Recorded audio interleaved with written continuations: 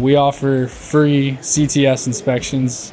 That stands for Custom Track Service. What we do is we'll go out to the machine. It can be at our shop, a customer's shop, anywhere we can go to it. Make sure it's gonna be at a, a good time for them so they don't have to down the machine. We will check the life in the track shoes, the links, the carrier rollers, the track rollers, the sprockets, idlers. We'll create a report for you. It's got it's gonna have high quality photos of all those components.